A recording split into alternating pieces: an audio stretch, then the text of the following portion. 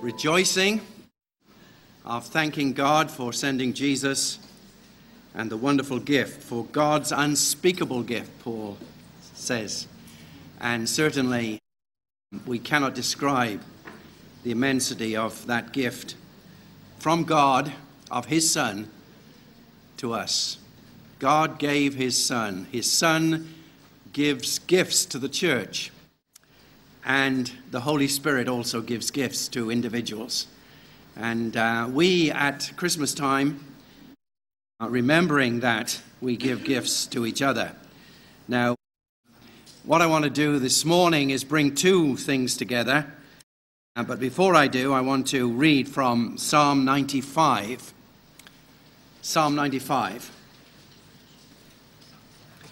My wife and I usually give some sweets and lollies to children just the Sunday before Christmas, but because she's not so well this morning, not able to be here, uh, we'll reserve that till the day right after Christmas, Boxing Day. So uh, that'll get all the boys and girls here, won't it? Won't it? And uh, that will be next Sunday. All right, Psalm 95, please. Oh, come, let us sing. That's what we've been doing. Unto the Lord, let us make a joyful noise.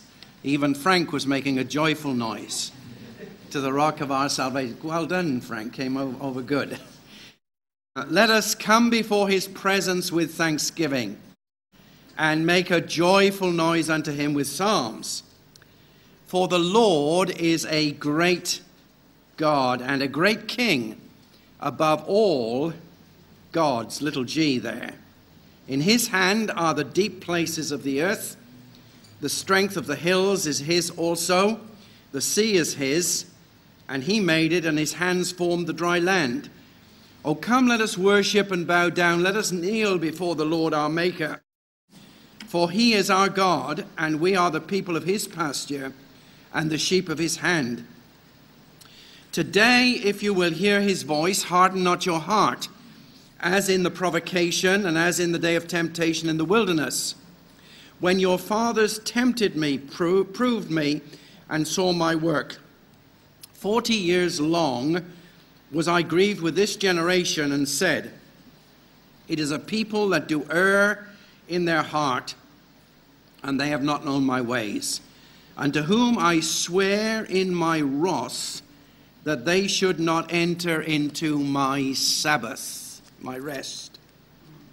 Taking an unusual topic this morning. It's an unusual title. I don't know if you'll find the message unusual. I hope you will in some ways. It's entitled The Significance of the Sabbath Rest of God in the Light of Christmas. There have been two issues on my mind as I've approached this message and this uh, week. First of all, the Christmas message. It's a unique time of the year, it's only once in the year, so we can rightly use that word unique in respect of it. It's the time when we celebrate the coming of the Lord Jesus, the incarnation. Whether the timing is right or not is really insignificant and inappropriate even to discuss. It really is not relevant. The fact is that at this time of the year, we do recognize in a special way the birth of the Lord Jesus Christ. And that brings us to issues such as Bible prophecy. For example, Micah 5:2, where the prophet said some six, seven hundred years before Christ, where Jesus was going to be born. He says, And thou, Bethlehem Ephratah, though you are little among the thousands in Judah. In other words, you are an insignificant town, and certainly it is. Only about uh, two miles or so, I think, if I remember rightly, from my visits to uh, Israel. I only made one visit there, actually, and I went to Bethlehem. And as, if I recall correctly, it's quite close to the major city, Jerusalem. But the prophet says it's not going to be in Jerusalem, but it's going to be in the insignificant town of Bethlehem. And thou, Bethlehem Ephratah, though you are little among the thousands of Judah, yet from you shall he come forth unto me, whose goings forth have been from of old, from the days of eternity.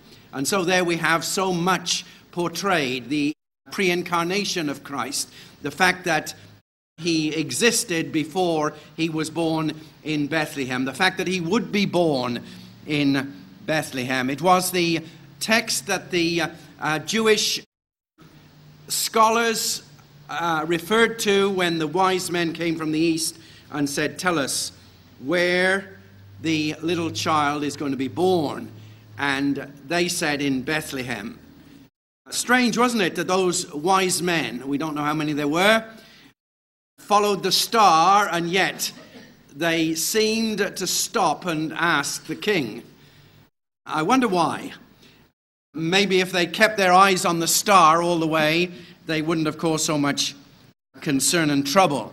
But they went to uh, Herod's palace thinking that this very prominent child would be born in a palace, and Herod was very troubled.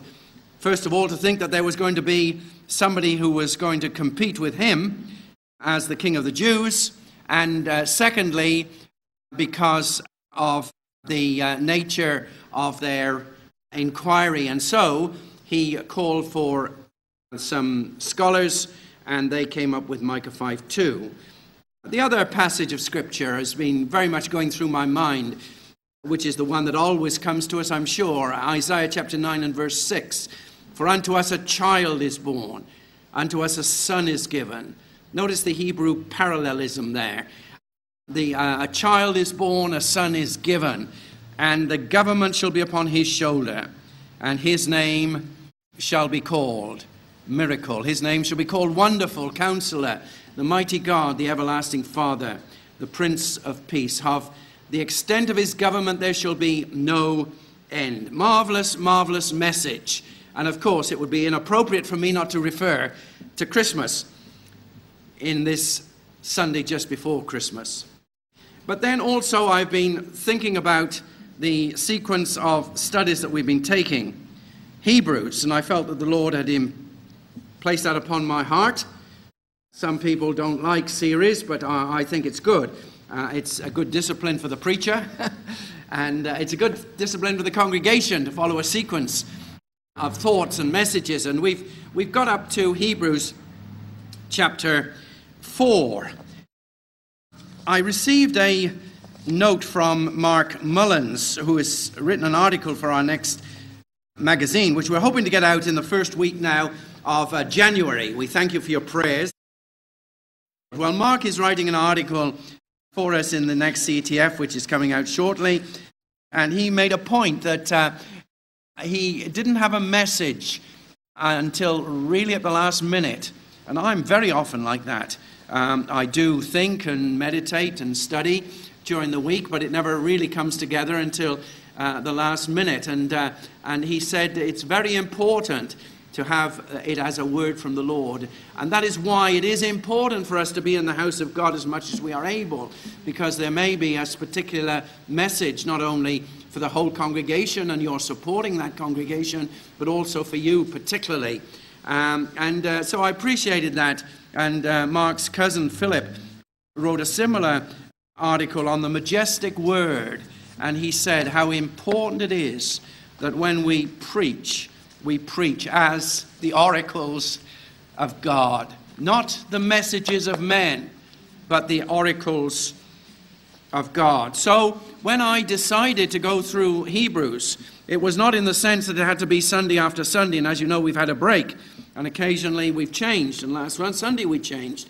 And uh, Brother Iron Morgan brought us an excellent message last Sunday morning, and he will be with us next Sunday morning. But I do believe that if God impresses something on you, then it's good to continue with that. Um, Martyn Lloyd-Jones, who uh, I look on as a bit of a mentor, having known him and sat and listened to him, people call him a, a mentor who've never known him really, but uh, he was a, a great preacher of the gospel and rather unique in that that's you can't have rather unique things, can you? Either it's unique or it's not unique. But uh, he he was um, well, he, he, was one of one of a, one, one on his own in a way, um, because he had had the ear almost not of the nation. I wouldn't say that. I, I, I don't think any recent preachers had the ear of the nation. You have to go back to people like uh, John Knox and um, John Wesley and um, those who really had the ear of the nation and turned the nation. But certainly, Martyn Lloyd-Jones had the voice of the populace. And um, he is different from many popular preachers of today in that not only did he have the ear of the populace, but he had the knowledge of God. There are some who have the ear of the populace, they are popular preachers, and they can gather crowds, but they do not have the message of the Lord. In fact, in many instances, they pervert the message of the Lord. But this was not so with Martyn Lloyd-Jones. So he had the ear of the populace, but he also knew the message of the Lord. And he used to advise his preachers. He would say, you know, preach in series by all means, but be prepared to break from it. So that if something comes up of a special note or a special significance, don't just keep uh, just arduously to that series, but be alert to hearing the voice of God for a particular time. And I think that is very, very important. And so, what I'm doing, trying to do today, is to bring two things together. The Christmas message is really the start of the fulfillment of the keeping of the rest that Paul refers to, or if Paul wrote Hebrews, the writer of the Hebrews refers to in Hebrews chapter 4. So let's read Hebrews chapter 4.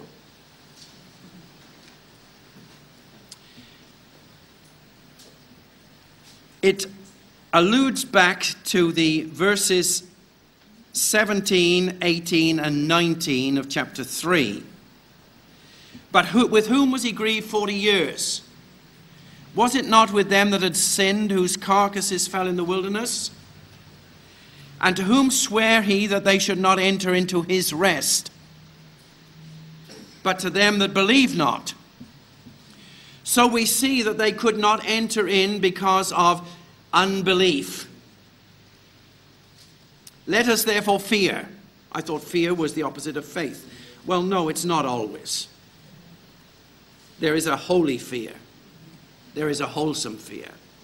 Let us fear lest a promise being left us of entering into his rest, any of you should seem to come short of it. For unto us was the gospel, means good news, preached, as well as unto them. But the word preached did not profit them, not being mixed with faith in them that heard it. For we which have believed do enter into rest. As he said, As I have sworn in my wrath, if they shall enter into my rest, although the works were finished from the foundation of the world. For he spake in a certain place of the seventh day on this wise, and God did rest the seventh day from all his works. And in this place again, if they shall enter into my rest. Seeing therefore it remains that some must enter therein, and they to whom it was first preached entered not in because of unbelief. Again, he limited a certain day, saying in David, Psalm 95 which we've read. Today, after so long a time, as it is said, Today, if you will hear his voice, don't harden your hearts. For if Jesus should be Joshua, that's the term Joshua and Jesus interchangeable. And here there's a reference to Joshua taking the children of Israel into the promised land. For if Joshua had given them the true rest, then would he not afterward then would he, that is God now, not afterward, because God used Joshua and God used David, and so it's always God who is doing it, then would he, God, not afterwards have spoken of another day, a day of rest? There remains, therefore, the keeping of a Sabbath. That word rest in that verse is different from the use of the word in the Greek language in the other verses where the word rest appears, although it has the same similar connotation. But here it is a direct reference to keeping the Sabbath. Therefore, there remains the keeping of the Sabbath to the people of God. Now, the Sabbatarians, the Seventh day Adventists, say, There you are. Uh, that means that you have to keep the Sabbath day. But what they do, and they're making the mistake, is they're seeing the, that which symbolizes the true Sabbath as being the necessary thing for the present. The children of Israel kept the Sabbath day, but they didn't enter into God's rest. The children of Israel went into the land of promise, but they didn't enter into God's rest because of unbelief. So it's not now referring to that which symbolizes the rest, but to the rest itself. There remains, therefore, the keeping of a Sabbath to the people of God. For he that is entered into his rest, that is God's rest, he also has ceased from his own works as God did from his. Let me just allude back to Christmas for a moment. Albert Barnes, who is a very, very fine Bible expositor, in his notes on the Bible about Isaiah 9 says this. We have quoted Isaiah chapter 9, verse 6. This chapter, Isaiah 9, is a continuation of the prophecy begun in Isaiah 7 and continued in Isaiah 8. It is composed of mingled threats and promises. Its characteristic may be said to be rays of light thrown into the midst of shades. It promises comfort and deliverance, while at the same time it denounces the sins of the nation and assures the nation that the anger of the Lord is not turned away. The previous chapter had closed by describing a time of great general calamity and darkness. This then begins in Isaiah 9 1 to 4 by showing that the calamity would not be so great as in the former times. It would be mitigated. There would be light, particularly in the dark regions of Zebulun and Naphtali, the provinces lying most exposed to the Syrian invasion. This light or deliverance was connected to the birth of a promised child, Isaiah 9 6 to 7, unto us a child is born, as we have quoted. And the mention of this leads the prophet into a magnificent description of his names, character, and reign. The prophet then returns to the threatened destruction of Israel and denounces the divine judgment against it. By the Syrians and the Philistines, it would be invaded and destroyed. Isaiah 9 8 to 12. The effects of this in cutting off their sources of strength and producing General dismay and ruin are described in the remainder of the chapter, Isaiah 9 13 to 21. The chapter, therefore, would impart consolation to the inhabitants of Judah and is designate is designed to confirm the promise that it should be safe from the threatened invasion. But you know, whereas I can appreciate what he's saying and certainly agree with it to a large extent, the Word of God is bigger than that. And the position of the message and messenger more significant than that. For example, in 2 Peter 1:21 we read, "For the prophecy came not in old time by the will of man." They're not just writing natural events, but holy men of God spoke as they were moved by the Holy Ghost. And the terminology there is as they were carried along by the Holy Ghost. And that is the dimension, brothers and sisters, that we increasingly need in our preaching from our pulpits, being carried along by the Holy Ghost, so that this nation and the nations of the world may again give heed to the message of the Lord, as they did in John Wesley's time, as they did in Jonathan Edwards' time. So, as they did in C.H. Spurgeon's time, so they can do in our time as we are moved by the Holy Ghost. God's purpose and program are, have two chief features. The first is the glory of the Creator. That is supreme and sublime above all other things. That He may have the glory, the glory of the Creator. The other is the good of the creature.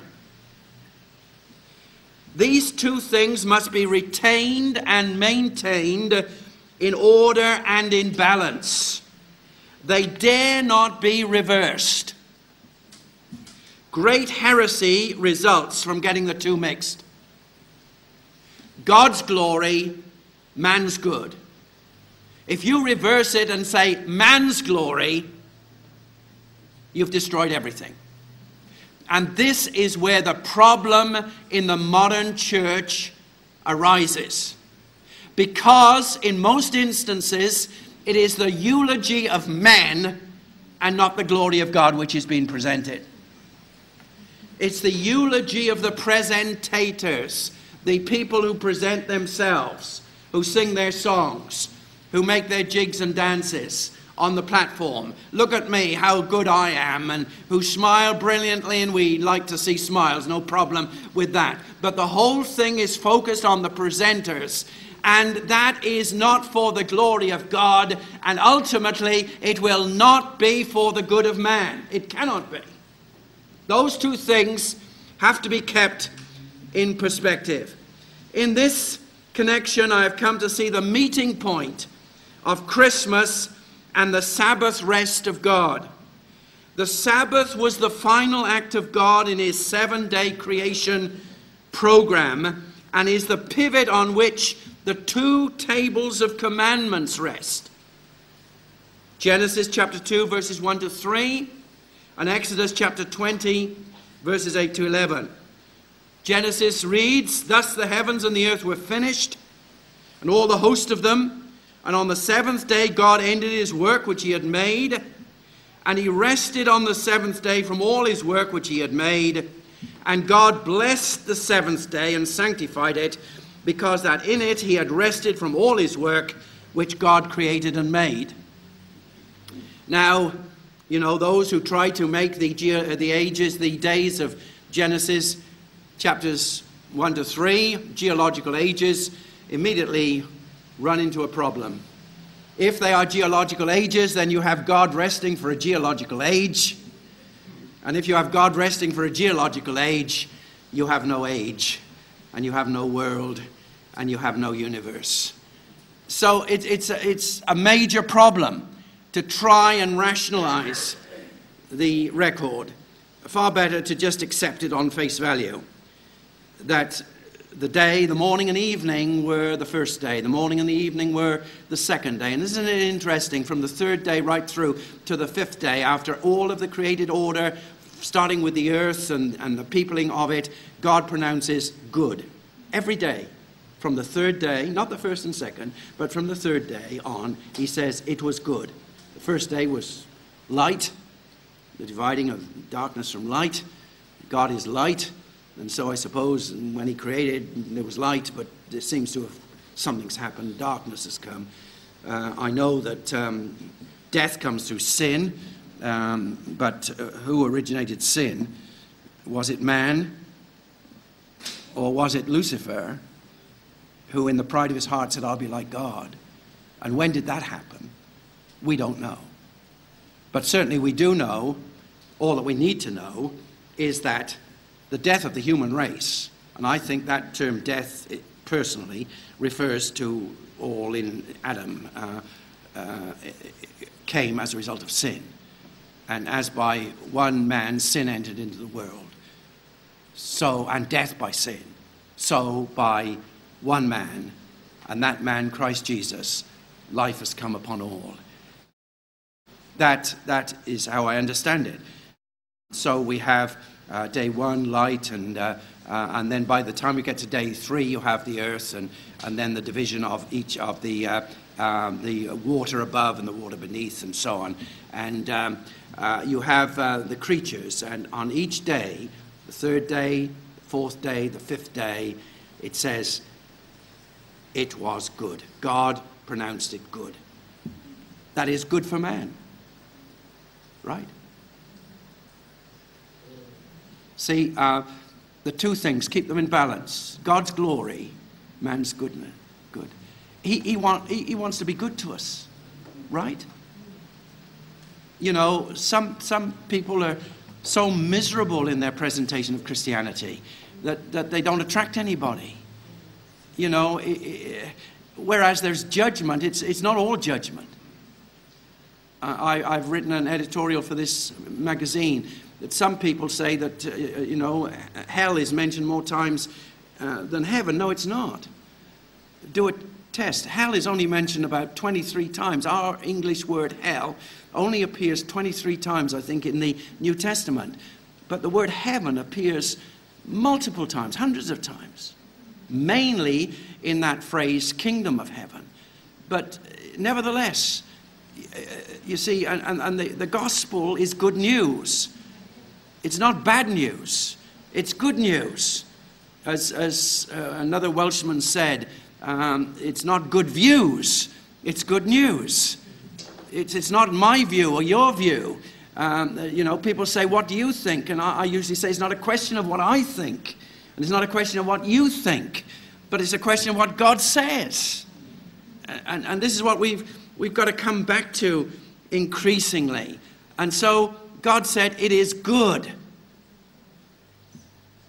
It's for His glory, but it's for man's good.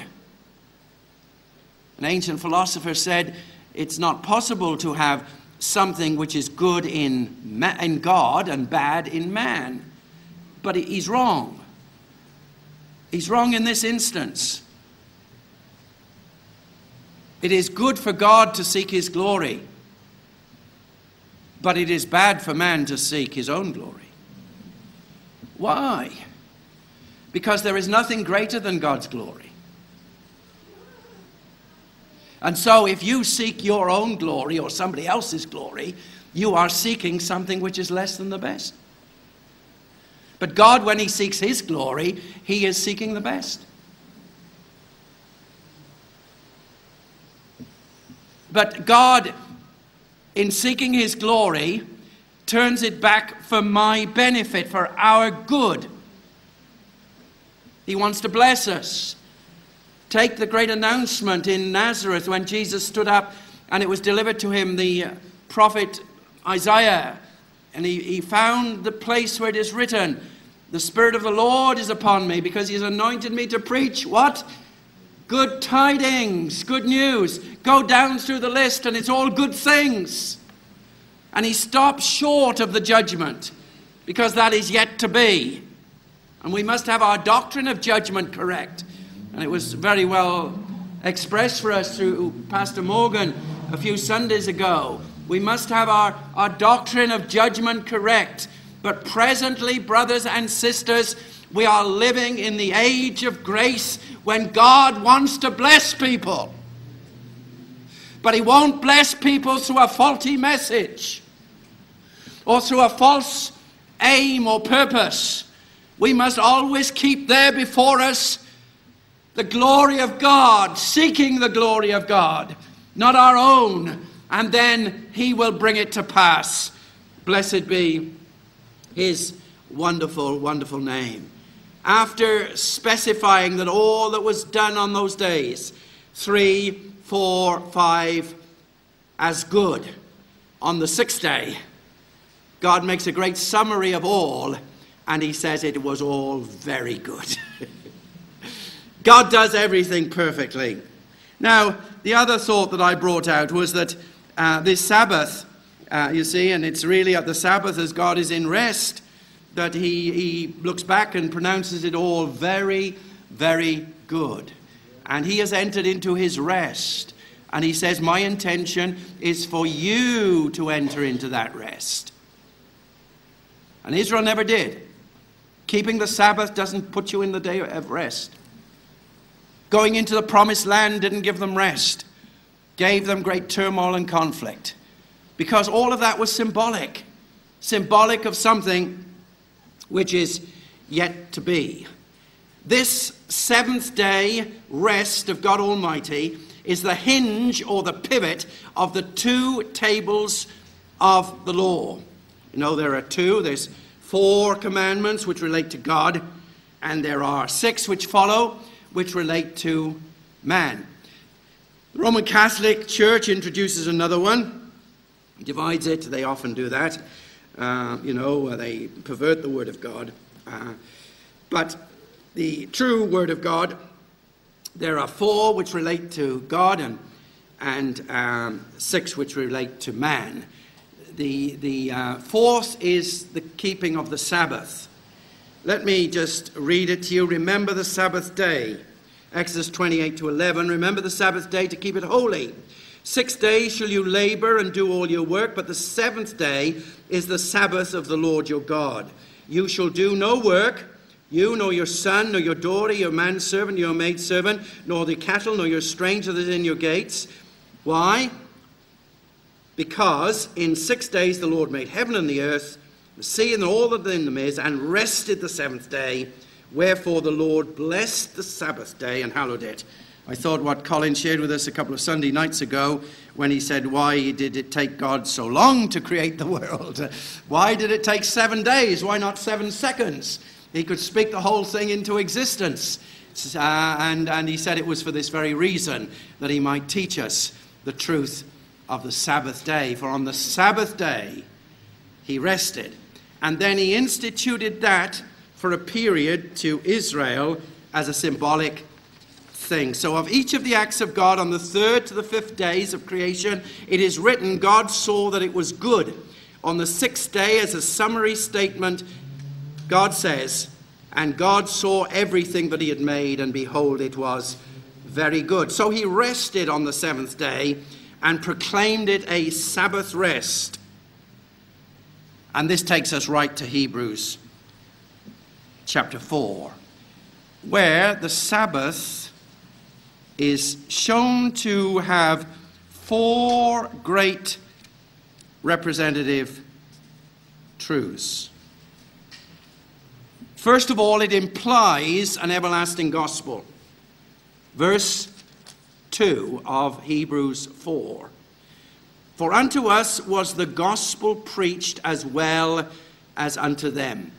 One of the errors that the uh, modern church uh, um, has uh, adopted, I think, is uh, the idea that the church uh, started on the day of Pentecost. I don't think it did.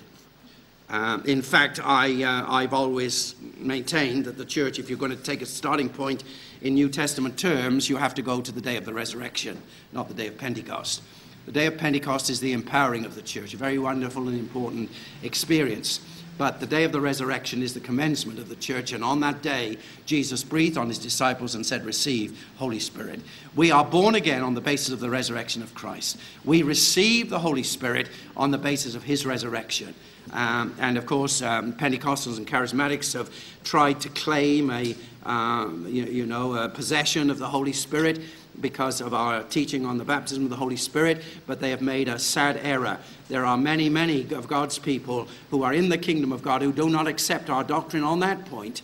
Uh, and even though I, I think they're wrong on that point, nevertheless, they have the Spirit and they do know the indwelling of the Holy Spirit. In fact, Paul makes it very, very clear if any man does not have the Spirit of Christ, he doesn't belong to him.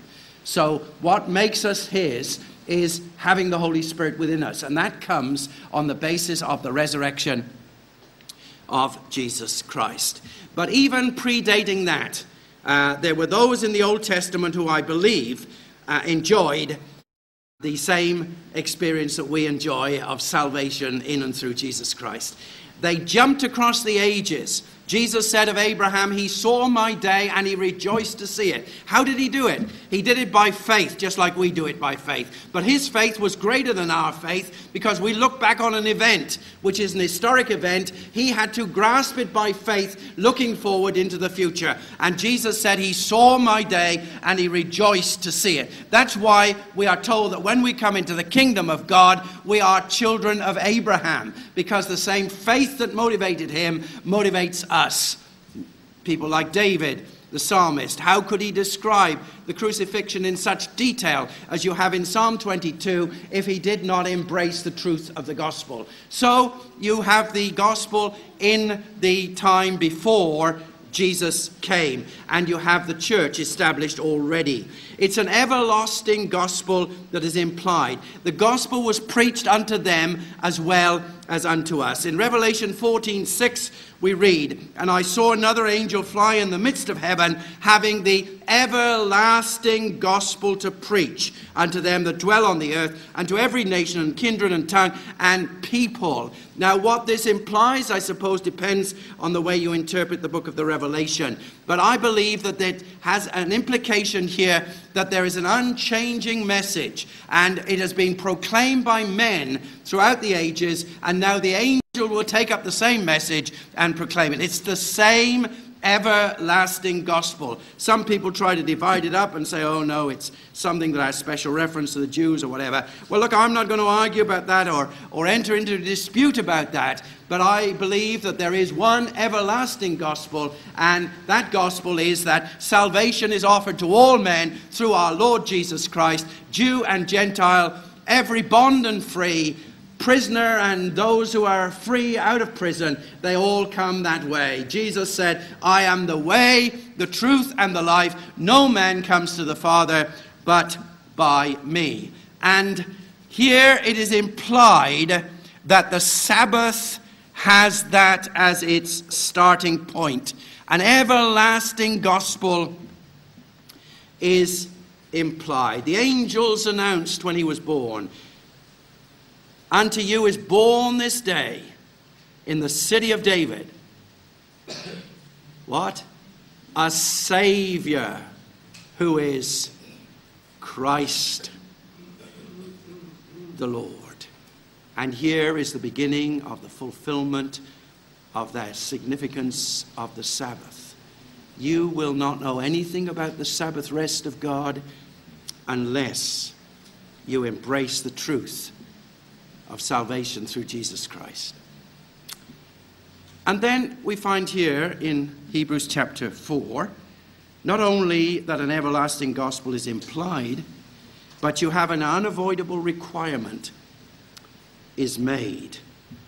Hebrews 3:19 says, you see they could not enter in. Why?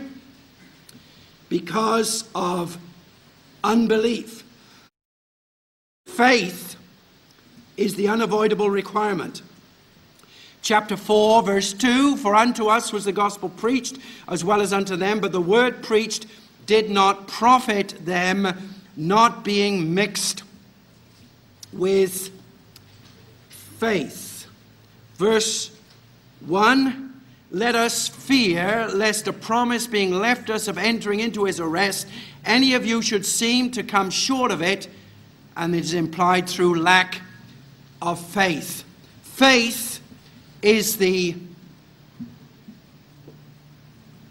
currency of heaven. You cannot get saved by any other means. You will not and cannot get saved by good works.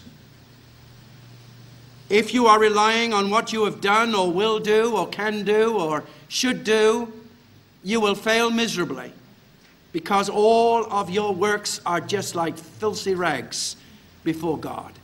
Give him a million dollars and you have not enriched him one little bit because he owns everything. Use your intellectual powers to think your way, as Richard Dawkins tries to do. And you are just a minion in comparison with the intelligence of the Almighty. Fight with all your might for right against wrong, and it will not earn you one step on your road to heaven. It has to be faith. And in that, we're all equal. And it shows how God is impartial. And God has allowed every one of us to enter on the same basis. The rich can come, the poor can come, the fools can come, the intelligentsia can come. All can come on that one basis. Believe what I've told you. Believe that Jesus Christ died on the cross for you. Believe that he died to cleanse your sins away. And you will find salvation in him.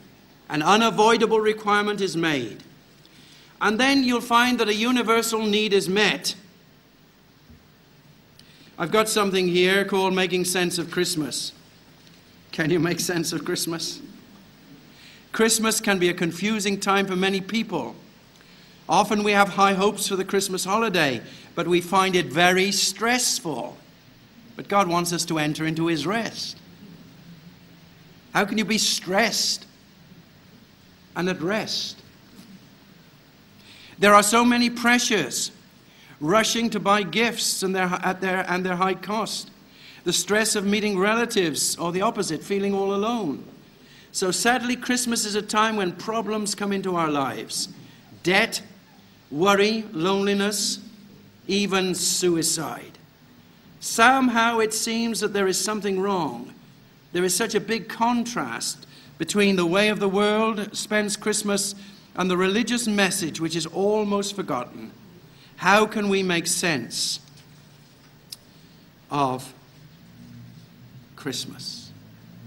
And as we approach Christmas, my oh my, we all feel, oh, wouldn't it be great to have a rest? Wouldn't it be great to enter into the Sabbath?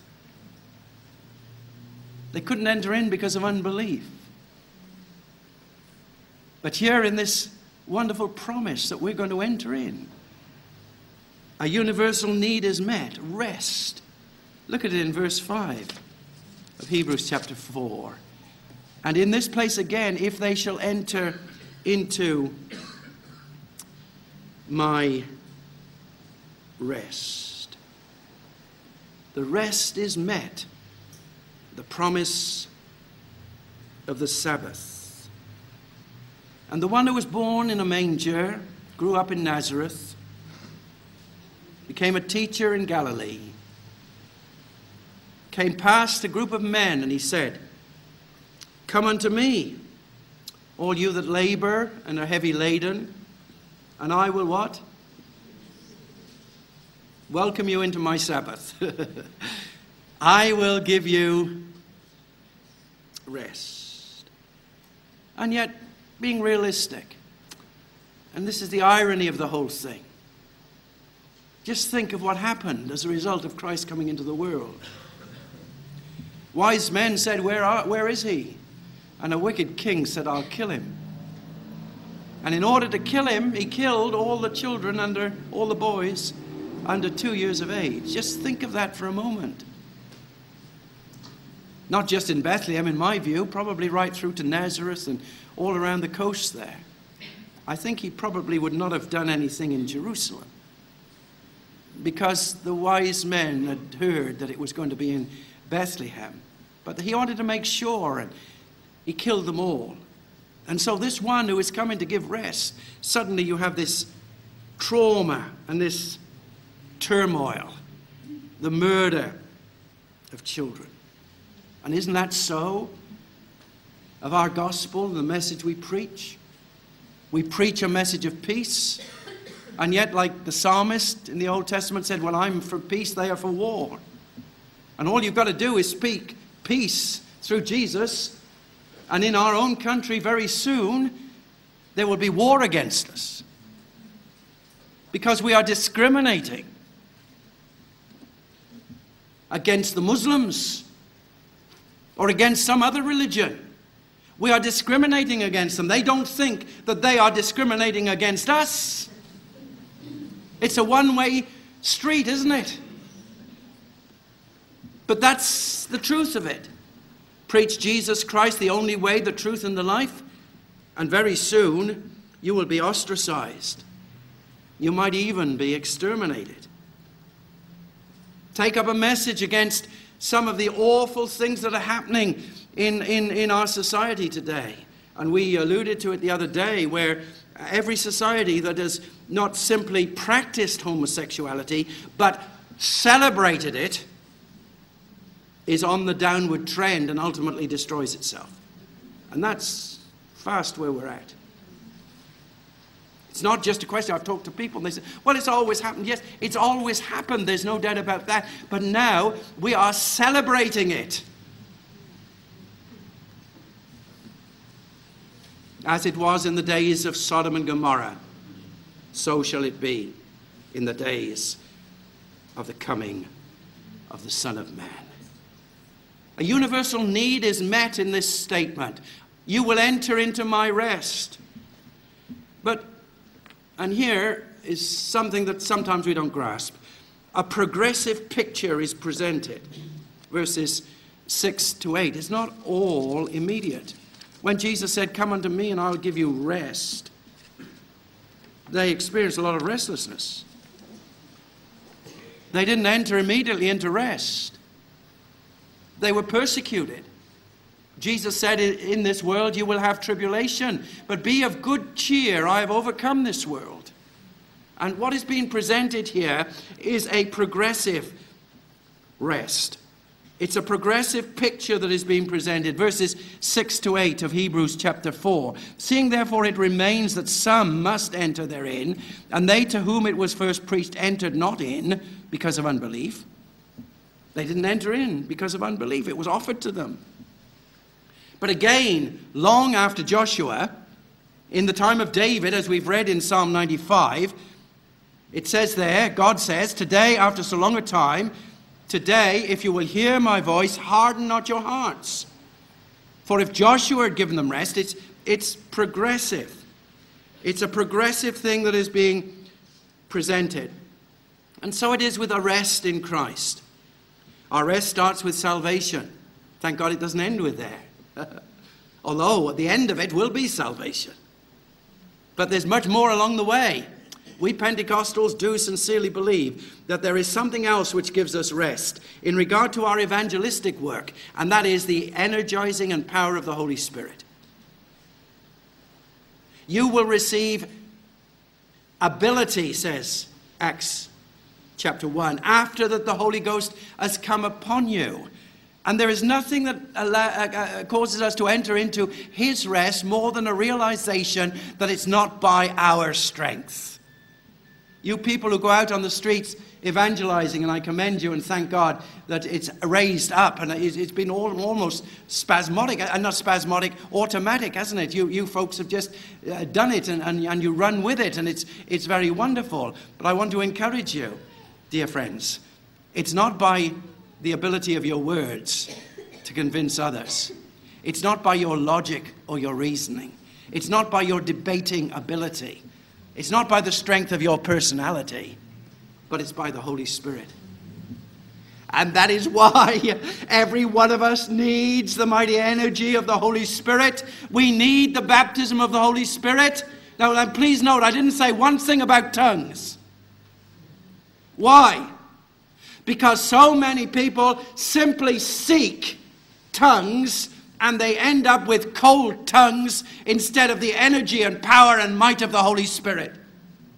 We need the Holy Spirit, brothers and sisters, and we need to wait upon Him for Him to come upon us with power from on high. Those early disciples didn't know what was going to happen to them. And I think it would be a jolly good thing if many people didn't know what's going to happen to them when the Holy Spirit comes upon them. But you can be assured if it is the Holy Spirit, it will not be bizarre, it will not be out of control, it will be for the benefit and blessing of all, not for the ridicule of men. Salvation, baptism of the Holy Spirit, crucified life, That's the ultimate thing. When Jesus said, Follow me and I'll make you to be fishers of men, he set off for the cross and he expected them to follow him all the way. Not to give up halfway. And Paul says, I am crucified with Christ. Nevertheless, I live, yet not I, but Christ lives in me. The crucified life is the big ego crossed out. So it's no longer me that lives, but it's Christ living in me. This is really the heart of where things go wrong so much, right out throughout history. It's not just in our day. There was a bishop who was born on December the 16th, 340 AD. His name was Eusebius. He was referred to in history as a bold bishop. I get communications from uh, a Christian history group who select particular days when certain things have happened in history. And this last week was, of course, December 16. And um, uh, yeah, we've, we're at this, yeah, we are, aren't we? Yes. and um, this, uh, this man was born on that day in 340. And this is part of what they say about it. No sooner had the church found freedom from outside persecution in the Roman Empire than it experienced division from within. In the world, you will have tribulation. Emperor Constantine made Christianity legal, where before a bishop had to be a lover of Christ, willing to die for truth under dreadful tortures. Now the post was coveted by many as a position of prestige. Sound familiar? Influence and easy money. Sound even more familiar? You need more money. Just to keep my pay at $300,000 a year. You know who I'm alluding to? That's a cool $6,000 a week.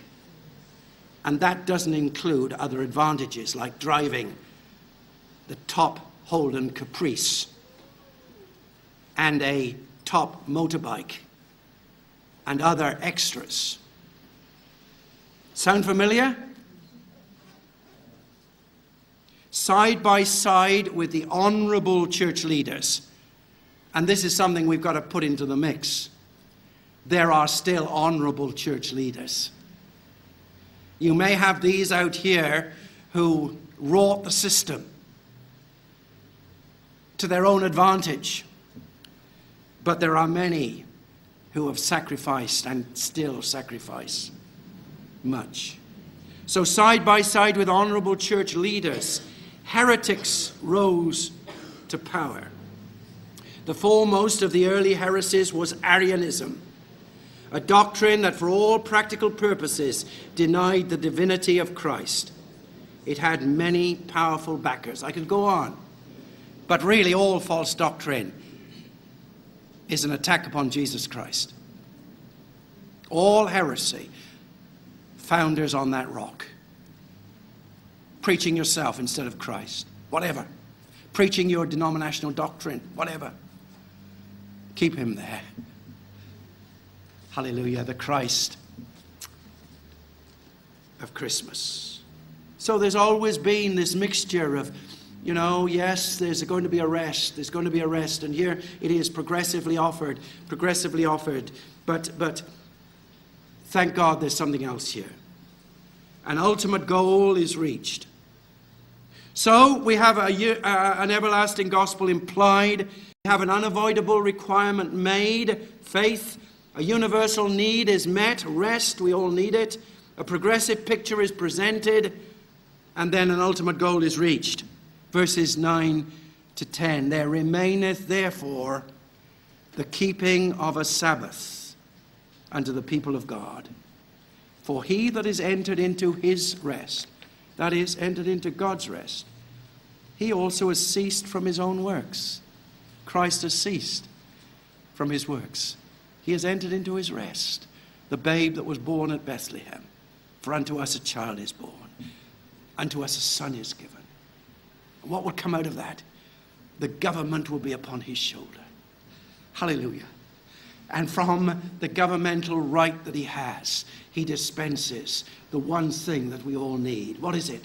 Rest. Do you feel you need rest? The older I get, the more I feel I need rest.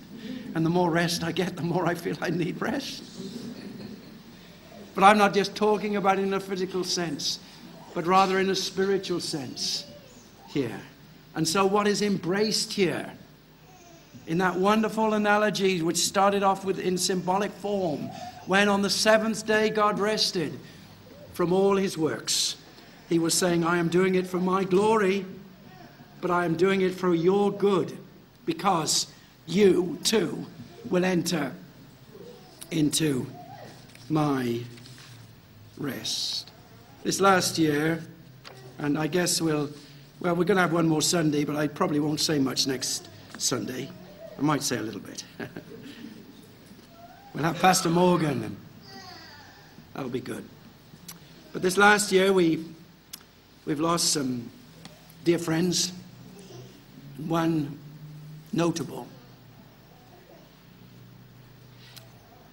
that is known as a result of our work and ministry, and or before actually, uh, around the world, but came to know some dear friends as a result of CWM and the work that goes on from this place. And one brother from England, you know him, his name is Mark Mullins, he wrote when he heard.